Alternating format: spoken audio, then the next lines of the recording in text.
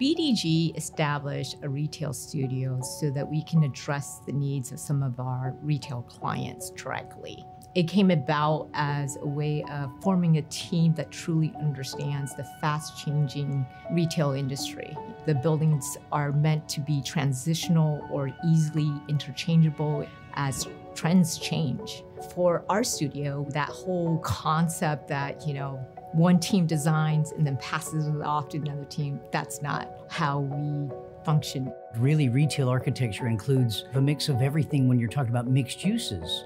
And so we have restaurants and, and pure retail, small shops, junior anchors, big boxes. We really like to assist our clients to help them at the beginning of their project determine the best return on their investment.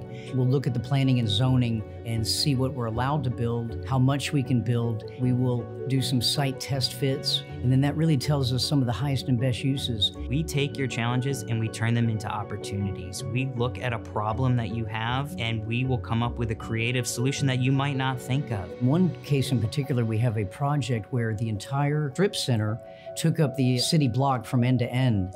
And so what we did was we proposed to actually remove a part of the building. We took out the center bay and we converted into a paseo. We were able to get two restaurants fronting each other at this end cap. They each had a patio that they could use for outdoor dining, and it created the better access and experience with the dining out in the patio, and it was very successful. The curbside pickup programs, the increase in drive-throughs, we need to account for those spaces now. You have people now looking for a place to park so that they can get their online orders fulfilled at the same time as people are trying to get in and out of shopping. So you really have a conflict in your front of house sales area operations and your behind the scenes back of house operations, and we need to account for that in the design. We do all of our projects in Revit. So it's no longer about changing two lines or revising two lines.